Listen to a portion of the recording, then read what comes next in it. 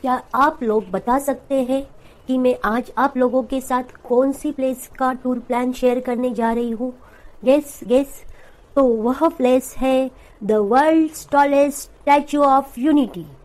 तो आप सभी लोग बहुत ही एक्साइटेड होंगे यह जानने के लिए कि कैसे टूर प्लान करें। सो डोंट वरी इस वीडियो के थ्रू मैं आप लोगों को पूरी डिटेल्स दूँगी। साथ ही साथ मैं आप लोगों के साथ ड्यूरिंग टूर प्लान हमने कौन सी कौन सी मिस्टेक की जो कि आप ना करें, वो भी बताऊँगी। जब भी मैं कोई टूर प्लान करती हूँ तो सबसे पहले होटल बुकिंग और फिर ट्रेन या फ़्लाइट बुकिंग करती हूँ। और उसके बाद मैं आइटिनरी बुक करती हूँ। और यही फ़र्स्ट मिस्टेक मैंने इस टूर को प्लान करते वक्त की, क्योंकि मैंने संडे और मंडे टू डेज़ का स्टैचू ऑफ़ यूनिटी का टूर प्लान किया था। लेकिन मुझे पता ही नहीं था कि मंडे को स्टैचू ऑफ़ यूनिटी और बाकी सभी अट्रैक्शंस क्लोज होते हैं। इस वजह से सिर्फ़ एक ही दिन हम लोग स्टैचू ऑफ़ यूनिटी घूम पाए। तो आप लोग यह मिस्टेक बिल्कुल भी मत कीजिए। वैसे तो हमारा चेक इन टाइम था 12 पीएम तो हमने अपना बैगेज होटल के स्टोरेज रूम में रख दिया और वहीं से फ्रेश होकर हम लोग हमारा फ़र्स्ट अट्रैक्शन नौका विहार के लिए चल पड़े। सरदार सरोवर नौका विहार का जो पैकेज हमने बुक किया था, उसमें स्टैचू ऑफ़ यूनिटी के बस स्टॉप से पिक एंड ड्रॉप फैसिलिटी भी इंक्लूड थी। यह 45 मिनट्स की राइड थी। हमने 9:30 टू 10:15 का टाइम स्लॉट बुक किया था। वहाँ पर गाइड था जो सराउंडिंग प्लेसेस को बहुत ही अच्छे से एक्सप्लेन कर रहा था। वो है डाइट नंबर थ्री यानी कि पंचमोली तालाब। और इसे पंचमोली तालाब इसलिए कहा जाता है, आप सभी के राइट हैंड साइड पे आपको जो पूरी फॉरेस्ट रेंज दिखाई दे रही है, बिल्कुल वैसी ही सेम पहाड़ियाँ पूरे तालाब में हुआ करती थी और उन पहाड़ियों के ऊपर लोग अपने घर बनाकर रहा करते थे। तो स्थानीय लोगों ने इस जगह का नाम पंचमोली रखा था। और साथ ही में जो आप रेड कलर के ड्रम्स पानी में फ्लोट करते हुए देख पा रहे हैं, जहाँ तक आप सबकी नज़र पानी में पहुँच सकती है, ये ड्रम्स वहाँ तक एक लाइन से बिछाए गए तो ये 45 मिनट्स की इस राइड में हमने बहुत ही एंजॉय किया। 45 मिनट्स कब ख़त्म हो गए पता ही नहीं चला। आप देख सकते वीडियो में कितना ब्यूटीफुल व्यू है। हमने वहाँ पे क्रोकोडाइल भी देखा। सरदार सरोवर नौका विहार का टूर हो जाने के बाद हम लोग हमारे नेक्स्ट अट्रैक्शन जंगल सफारी के लिए चल पड़े। वहाँ पर फ़ूड कोर्ट भी था तो हमने अपना लंच वहीं पर किया। इस टूर में बच्चों ने बहुत ही एंजॉय किया। वाइल्ड लाइफ देखकर बच्चे लोग बहुत ही खुश हो गए।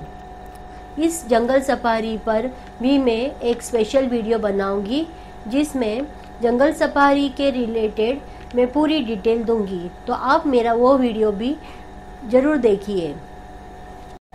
जंगल सफारी के एग्जैक्ट ऑपोजिट में पेट जोन है। वहाँ पर हमने कुछ टाइम स्पेंड किया। बच्चों ने गोट, रैबिट, काऊ के साथ बहुत ही अच्छा टाइम स्पेंड किया। उनको टच करके उन्हें बहुत ही खुशी मिली। उनके साथ खेल कर उनको बहुत ही अच्छा फील हुआ। 2 पीएम को हम हमारे hotel B R G budget stay return आए। वहाँ पर हमने कुछ देर रेस्ट किया। फिर 3:30 को हम स्टैचू ऑफ़ यूनिटी के लिए निकल पड़े। स्टैचू ऑफ़ यूनिटी का हमने 4 टू 6 पीएम का स्लॉट बुक किया था। यह और एक डिटेल मैं आपको देना चाहूँगी। अगर आप स्टैचू ऑफ़ यूनिटी की एंट्री टिकट लेते हैं तो आप स्टैचू ऑफ़ यूनिटी की बसेस में फ्री में ट्रैवल कर सकते हैं। तो हमने हमारे होटल के नज़दीक जो स्टैचू ऑफ़ यूनिटी का बस स्टॉप है, वहाँ से बस कैच करके हम स्टैचू ऑफ़ यूनिटी पहुँच गए। फिर हमने स्टैचू ऑफ़ यूनिटी के लिए गेट नंबर फोर से एंट्री ले ली। अब फाइनली हम लोग स्टैचू ऑफ़ यूनिटी के अंदर आ चुके हैं। आप अभी वीडियो में देख सकते हैं, हम लोग स्टैचू ऑफ़ यूनिटी की तरफ़ धीरे धीरे बढ़ रहे हैं और हम लोग बहुत ही एक्साइटेड है वर्ल्ड टॉलेस्ट स्टैचू देखने में। जैसे जैसे हम स्टैचू ऑफ़ यूनिटी की तरफ़ बढ़ रहे हैं वैसे वैसे हमारा एक्साइटमेंट भी बढ़ रहा है। हम लोग, सभी लोग बहुत ही एक्साइटेड है world tallest statue of unity देखने के लिए।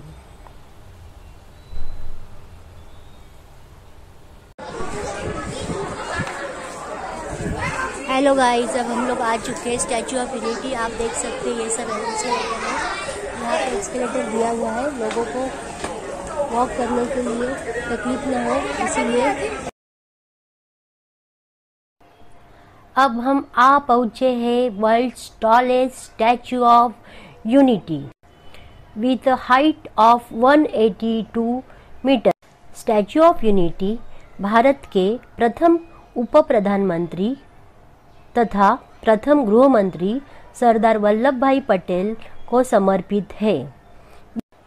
Sardar Vallabhbhai Patel is our great freedom fighter उनको भारत का आयरन मैन भी कहा जाता है।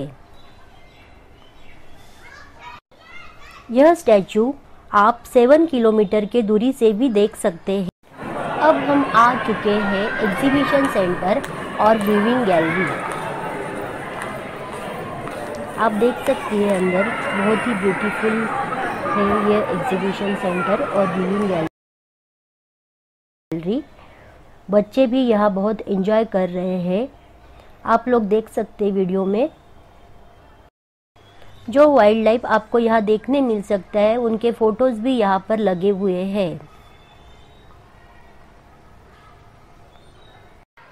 इस एग्जीबिशन सेंटर में आपको lots of pictures paintings about the Narmada village भी देखने मिलेगा। अब हम आ चुके हैं एलिवेटर से फोर्टी फिफ्थ फ्लोर यानी कि स्टैचू के चेस्ट लेवल तक हम पहुँच चुके हैं।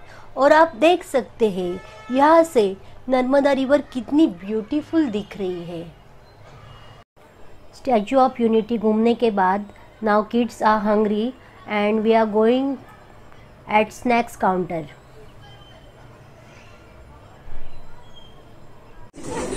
और फिर लौटेंगे laser light and sound show देखने के लिए at seven p m laser show से रिलेटेड और एक जानकारी मैं आप लोगों को देना चाहूँगी कि जब आप स्टैचू ऑफ़ यूनिटी के लिए टिकट बुक करते हैं तो वहाँ पर थ्री ऑप्शंस दिखते हैं।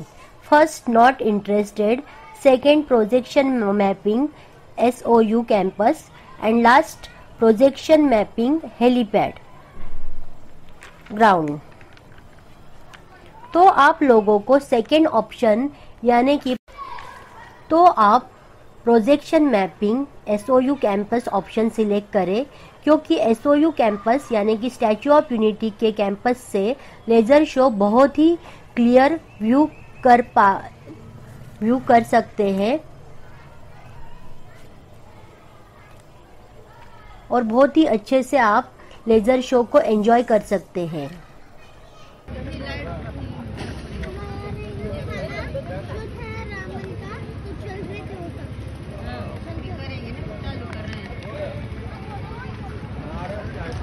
बच्चे लोगों ने लेज़र शो को बहुत ही एंजॉय किया।